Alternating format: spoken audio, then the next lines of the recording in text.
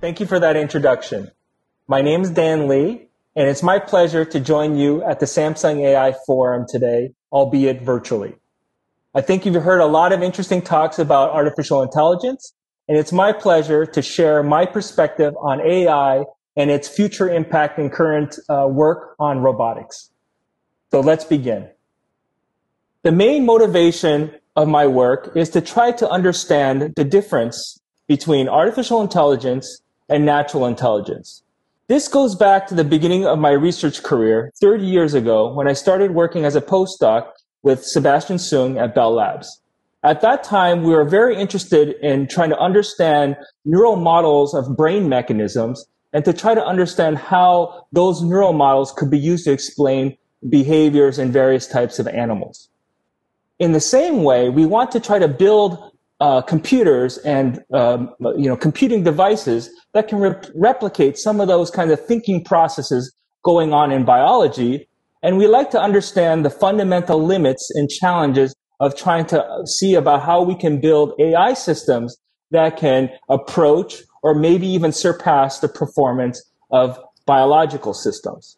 And that's really the fundamental question that I'd like to try to address is what are some of the limitations? What are some of the uh, st- uh, challenge, remaining challenges in trying to build AI systems that can approach the performance levels of what we expect in animals and in humans? So let's think about how we can measure these differences. So one way we measure these differences between AI and human performance is to do man versus machine contests. And this has been happening for a number of years. You know, we've started back in the 90s with looking at how we can make computers play chess, the game of chess. Uh, more recently, we've had computers playing things like trivia games. And of course, the excitement back in 2016 where DeepMind built AlphaGo that beat Lee Sedol in Go. And in all these systems, what we've seen is a steady progression of being able to build computers and algorithms that can outperform humans, the world's best humans, in these particular domains.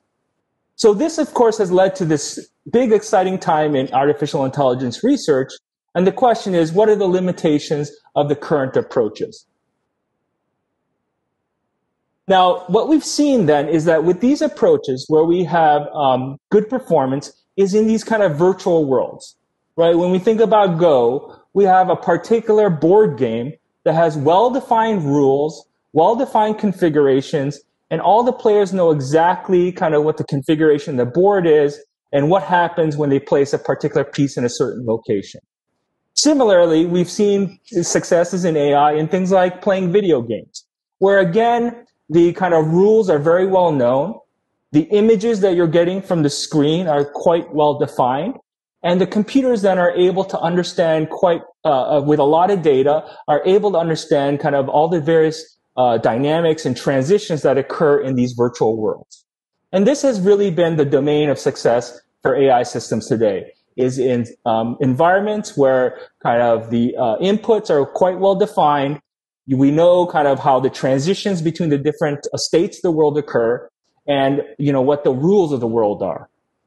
However, we've had less success in AI when we deal with our messy physical world, right? And the reason for this is that the real physical world is much more complex than something like a video game, right? When we actually step out into the real world, we don't know quite what will happen when we step on that piece of ground, right? We don't have a good model sometimes of what happens if that ground is sandy, or maybe that ground has some ice on it, or it's, you know, stony, rocky. I mean, all these things will dramatically change what will happen if we try to take, you know, say a running step on that piece of ground.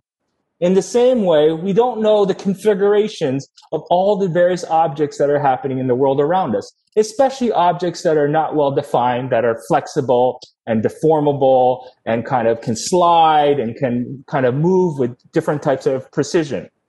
And of course, we don't know the dynamics, right? This is really trying to understand all of physics in the world um, by building these models, and it's really hard to do um, from kind of prior knowledge to build these types of systems. And this is what makes kind of um, AI successful in the real physical world much more difficult and challenging to do than building AI systems that can succeed in virtual environments. And so this is really, I think, the domain that we would like to try to work with is to try to have AI that can actually understand and respond and do things in the real physical world. So this is what I see as a next frontier for AI is to build, you know, computing devices and systems that handle the challenges of dealing with the uncertainties, the uh, uncertain dynamics in the physical world, the kind of partial observability that you can't see everything at, at once, the, um, un, uh, you know, how other agents in the world will act, and then being able to adapt and respond in real time to changing events in this kind of ever changing world and in our world. So this is what I think is the really the next frontier for AI is really to build these robots, machines that can kind of respond to these challenges. And this has been a pipe dream for science fiction for many, many years right? We've seen numerous robots that are in the movies that can handle these challenges, but we still don't have them in our houses or, you know, in our daily lives. And this, I think, is really then where the next frontier of research will hopefully develop our ability to build machines that can actually do some of these dream-like um, uh, behaviors that we're seeing in the movies. Okay, and this is why uh, as a next frontier for AI to be able to marry AI intelligence with these electromechanical devices is really the next challenge. And this is why what we've done is actually at Samsung, we've started an AI center in New York, which I've had the pleasure of being uh, uh, at for the last two years. Um, and what we're doing there is we're focusing on building technologies, doing research, and building these machines, these robots that can handle and intelligently understand and react to events in the real world, in the physical environment. Okay? And so the way, how do we approach this problem? It's a very, very complex, complicated problem. And the way we break down this research, this problem into various stages, right? So when we want to build a machine or when as us as uh, uh, animals, uh, biological machines want to try to understand the world, the first step of this process is perception. That is, we need to take in information about the surrounding world from our senses, whether that's, you know, vision, hearing, smell, touch, you know, uh, uh, other senses, and to be able to take that information in and to make some sort of model or understanding of the surrounding environment. This is what we call the world model. And then from this world model, what we need to do is then to make some sort of decisions and make some plans right? Given the current state of the world around us, what should we do next? Then what should we do, you know, kind of a minute from now? What should we be doing an hour from now? What we sh- what should we be doing a, a year from now? These are the types of things that we need to do with our understanding of the world. We need also make these kind of intelligent plans. And then once we are able to build these plans, we need to act on them. We actually need to, you know, carry out these plans. So then, of course, then it's a matter of, you know, physically being able to do the types of things that we would like, you know, our, our systems to be able to perform so that they can actually change the world in some sort of uh, a useful manner. And this is the way we, the we, way that we break down the problem in robot intelligence. We need robots that can intelligently perceive the world, that can make decisions and plan things in the world, and then to actually act in the world, and then to be able to complete this loop in kind of a, a real-time setting. That is, none of these things should take any, a large amount of time. Otherwise, by the time the robots figure out what to do, the world has already changed. So these are the challenging problems that we're trying to address. And what I wanted to do today is to share some of the methodologies and uh, uh, technologies that we've developed to try to address each of these different areas of robot intelligence.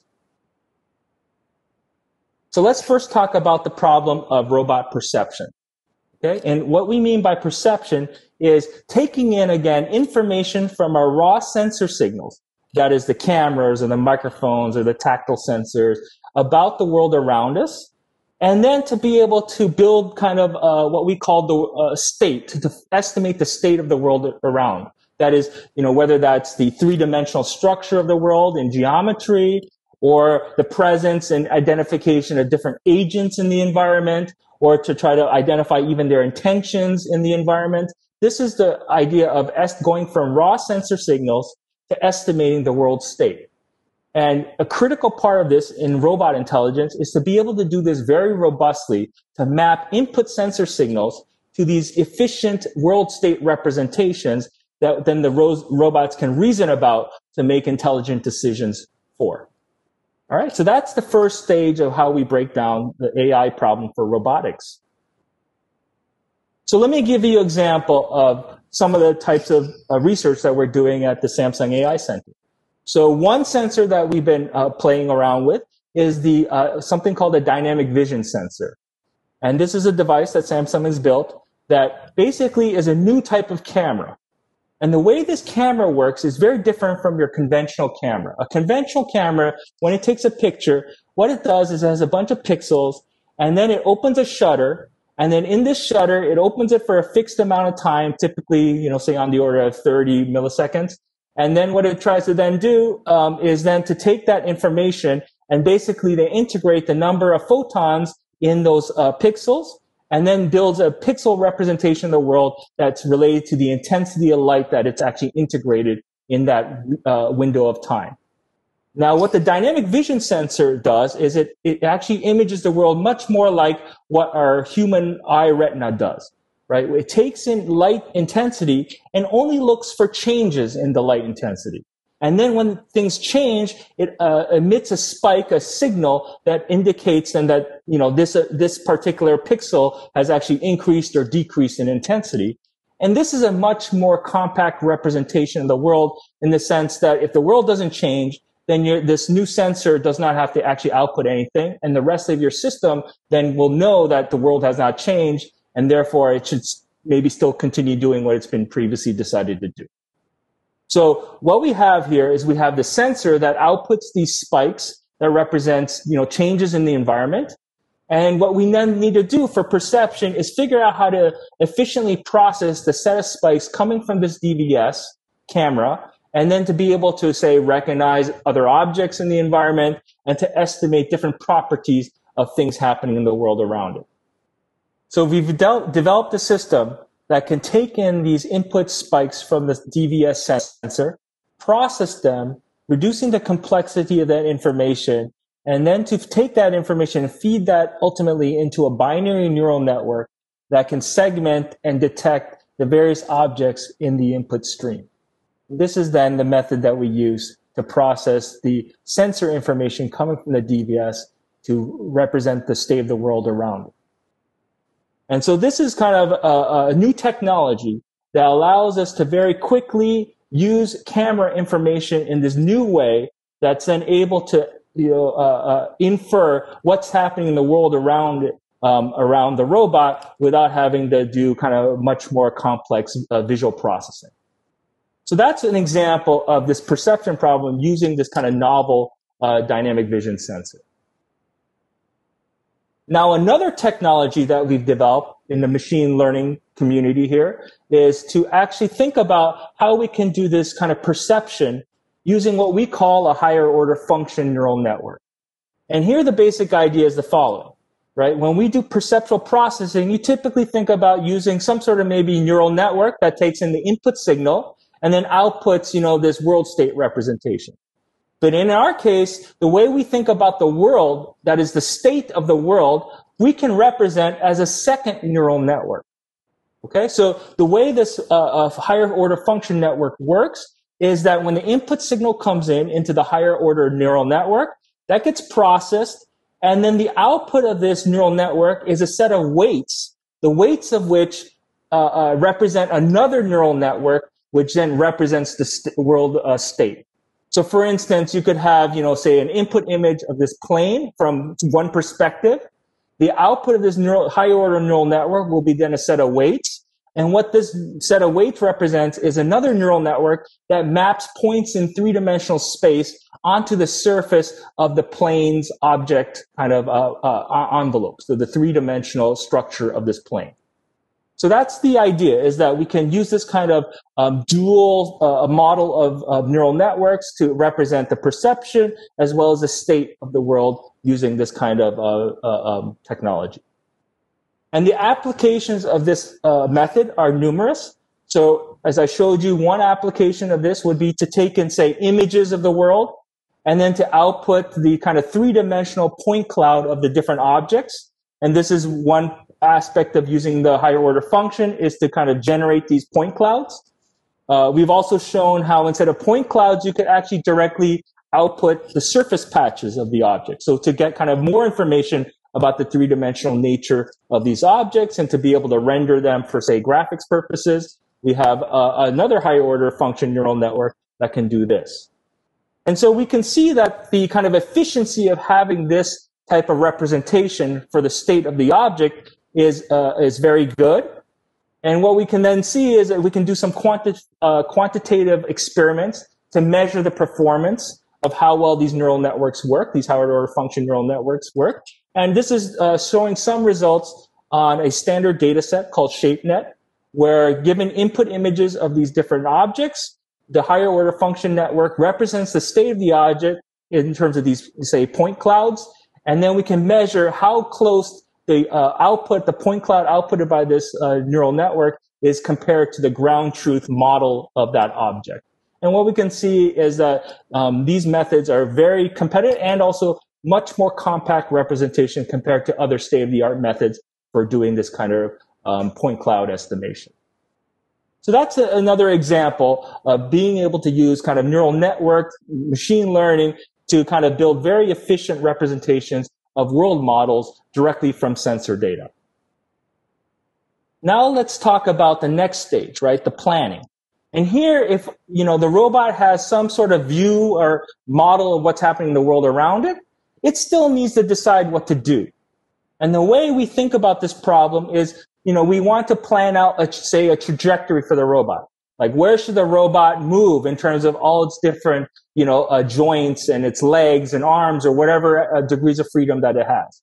And so the way we uh, represent this is, is that we, from our world model, what we get is we get our initial kind of pose configuration of our robot. That's our initial state.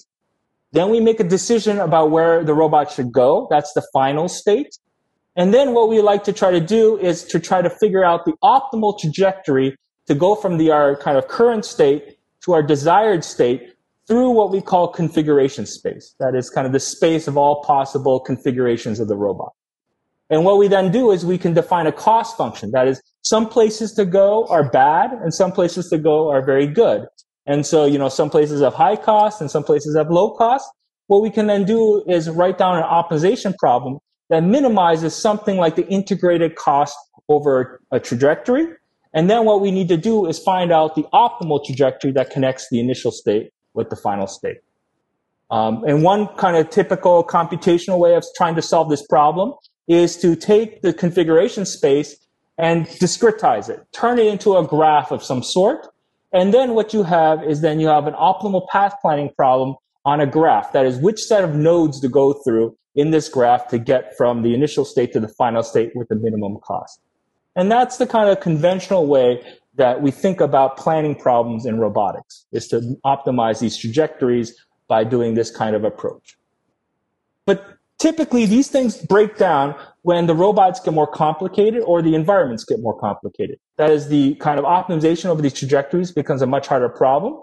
And then the time it takes to actually solve these uh, uh, optimization algorithms is too long for the robot to respond reliably. And so what we like to do is think about new methods using machine learning to basically speed up this planning for robotic intelligence. And so for here's an example where um, what we've done is we've taken a traditional kind of planner that I described to you, where we discretize state space. We do this planning in this uh, on this graph in state space. This is called the uh, RRT algorithm. We then generate a, a trajectory, this optimal trajectory. And then what we try to do is we try to train a neural network again that will mimic the kind of trajectories output by this conventional planner used in robotics. And what we found then is by mimicking the kind of conventional planners, we can still do very well in performance on the, of, of generating these trajectories. But then we also have the advantage of being able to do this very, very quickly and, and robustly in a lot of new environments.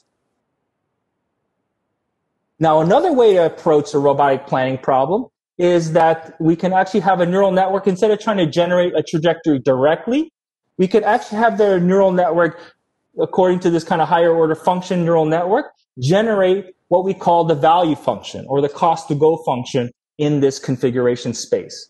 And what happens then is that we actually have a small neural network that can be used to map out essentially all the different locations in this configuration space. And then the optimal trajectory is found by just doing simple gradient descent on this learned value function to figure out kind of which direction to flow in this configuration space to generate the optimal trajectory.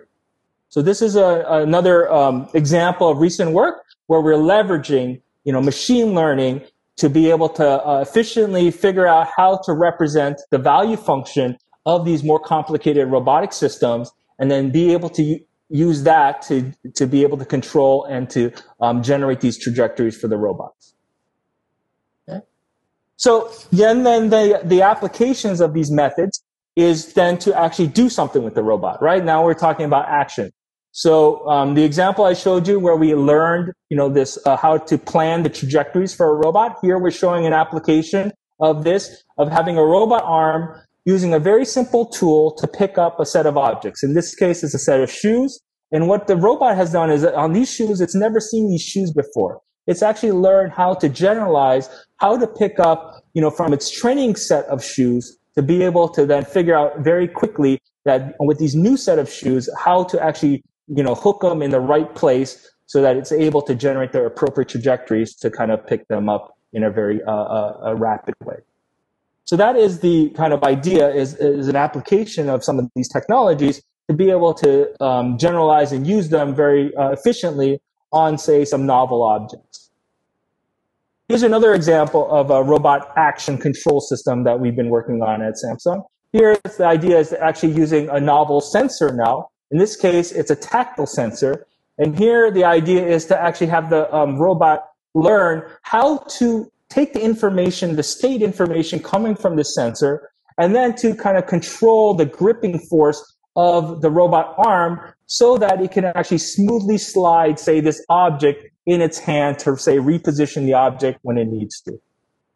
And this is, of course, an example of what we call dexterous manipulation, that, you know, in one hand, this robot is able to reposition and slide objects. And what we're seeing now is then the ability to try to generalize to, to new objects and to be able to slide these different objects depending upon the environment and situation and what the um, what it, what it needs to do. Okay. And finally, some of the uh, things that we think about with these uh, uh, robot intelligence is the need for the robots to also interact with humans right? So, so if you have a robot that's actually doing something on its own and you have a human in the environment, of course, we want to think about how to have safe and reliable interactions between what the, human wants to do and what the robot is planning to do.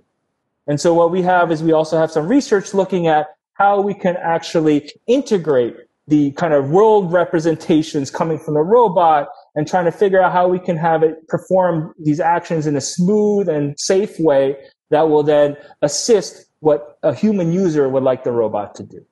And this is, of course, is an interesting idea of how we can then have better synergy between human users and the kinds of autonomous robot technologies that we're trying to build. So what we then try to like to do in general is to, you know, make AI so that it can actually improve your daily life. Not just your virtual life, but your daily life.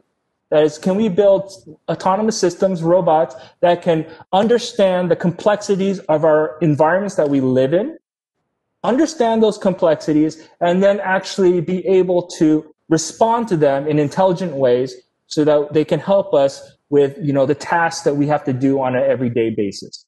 And these are the types of things that, you know, we're excited to do and develop is to build the fundamental uh, um, research and technologies that will enable future products that will really make an impact in our daily life. Now, this is still a research problem because if you look at kind of how far we are from a comparison to how well humans perform some of these tasks, we're still a long ways away, as opposed to, you know, something like playing Go or a video game. We see that, you know, our robotic technology compared to what humans can do, and this is an example of a, of a boy that's able to stack a number of cups using vision sensors, tactile sensors, being able to plan out, you know, the trajectories of his hands, figuring out kind of when the cups are stacked in the right position in place, and then being able to respond to slight perturbations in the environment. We see that the, the amazing ability of a human to do this is still, you know, um, very far from what our current technology can do. And this, of course, is what makes research exciting, is that we have this challenging problem. What we like to now do is think about novel uh, methods and technologies that will start to approach building systems that can uh, achieve this type of level of performance um, over time. And this is, of course, where we would like to get to someday. So finally, I would like to acknowledge my colleagues at the Samsung AI Center in New York. There's a picture of uh, the researchers and staff there at the center. Um, we're working on these challenging problems, but they're doing amazing work, making amazing progress in the couple years that we've been working on these tasks. And you know what we'd like to be able to do is to try to uh, leverage this to try to really make an impact for your in your future lives. So if you're interested in more details, I didn't have enough time here today to kind of get into all the details. We have a number of papers that have been published. Um, here's a list of some of the papers I described um, using kind of robotic perception. And then we also have some papers that describe, you know, how we can do some of these manipulation tasks. Um, and this is uh, the output of our research. And, if, and I'm very excited that, you know, we're able to continue this work and that we will be able to kind of hopefully make future progress. And of course, I'd love to maybe see you someday helping us out in this endeavor. Thank you very much for your attention.